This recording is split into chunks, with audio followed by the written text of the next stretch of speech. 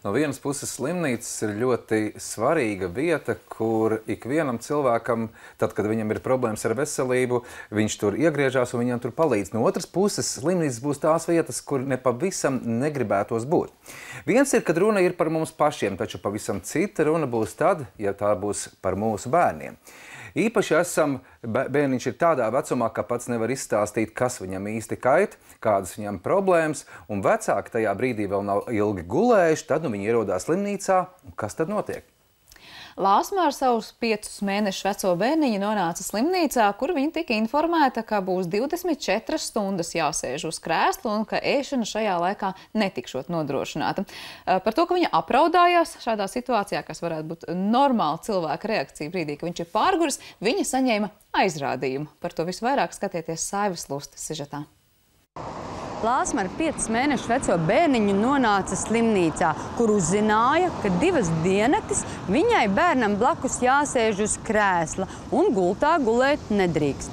Mazais bērniņš saslims, bērniņam ir 5,5 mēneši. Mēs nomocījāmies dienu, nakti. No rīta sapratām, ka ir jābrauc pie ģimenes ārsta. Aizbraucām pie ģimenes ārsta.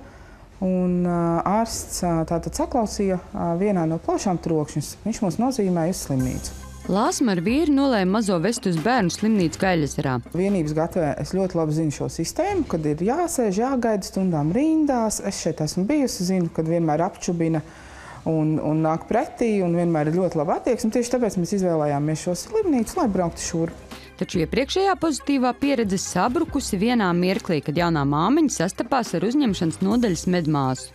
Mums uh, ielika uh, uzņemšanas nodaļas palātā kur māsiņa man tā arī pateica, kad, kad 24 stundas jūs šeit sēdēsiet, gulēt jūs tajā gultā nedrīkstat, tā nav jums.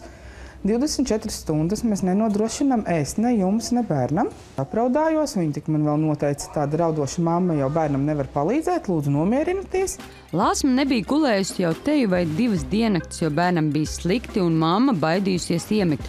Cerējusi, ka nonākot mediķu rokās, varēs kaut uz mirkli atlaist muguru, pievērt acis un atpūsties. Neatliekamās palīdzības un observācijas nodaļā tiešām mamām gultas vietas nav paredzētas. Un tas nav kaut kādu sodīšanas iemeslu pēc, bet tikai tāpēc, ka lielākā daļa, 99,5% no vecākiem, kas šeit ierodas kopā ar bērniem, jau pāris vai dažu stundu laikā dodas tālāk uz stacionāru, vai attiecīgi 75% no viņiem dodas mājās. Tāpēc, ka viņu veselības problēmas nav bijušas tik nopietnas, lai paliktu ārstēties slimnīcā. Lāsma pacietīgi uz krēsla nosēdējusi septiņas stundas tu sēdi, bet ja tu, tev tā doma ir, ka tev tur tās 24 stundas ir jāpavada, jau ka tam bērniņam ir slikti un tu pati esi pārgurusi, ka tev nav iespējas pat uz to brīdi, kad mazais ir aizmidzis, pieņemsim, iemigt, atpūsties, muguru atlaist kaut vai. Es jau pirms tam biju visu sutku pie bērna gultas nostāvējusi, ja, jo viņam ir temperatūra, viņš slikti jūtās, viņš klepo, viņam ir iesnas, viņš neguļ, viņš pārsvarā grib uz rokām, ja, un tad beigu beigās izvēršas tas par murgu 40 stundu garumā. Šīs dažas stundas nav paredzētas, paredzēta vecākiem un bērniem mēģināšana, izņemot gadījumus, ja ir ilgstošāk jāuzturas vairāk nekā teiksim, 10 un vairāk stundas, tad tiek piedāvāts uzkodas, kas ir jogurts, maizītes, tēja. Un vienlaicīgi ir nodrošināta arī iespēja vecākiem vai nu kafejnīcā darba laikā iegādāties ēdienus, vai arī tāpat kā šeit aiz durvīm nodaļas uzreiz ir pieejami sviestmaižu automāti. Lāsma gribēja ar sāpīgo pieredzi padalīties Facebook, kur komentāros neskaitāmas sievietes atbalstīja Lāsmu un rakstīja, ka sēdējušas ilgāk un ne jau uz mīkstajām mēbelēm. Ir reti, kura mamma, kura saka, ka nu, tas taču ir normāli.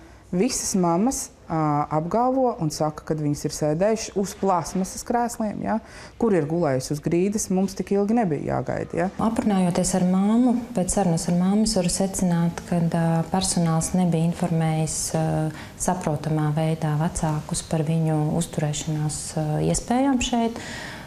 Un radās attiecīgi pārpratumi, proti gan par ēdināšanu, gan par 24 stundu režīmu, kas, protams, neatbilst patiesībai. Līdz ar to mēs atvainojamies vecākiem par to, ka šāds pārpratums radās un noteikti ar konkrēto personu mēs veiksim pārunas, kāpēc šāda informācija vecākiem tika nodota.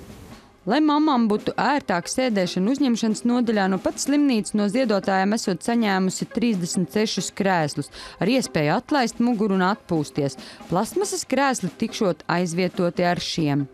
Šis gadījums vēlreiz apliecina, ka konflikti visbiežāk rodas tieši no sliktas komunikācijas.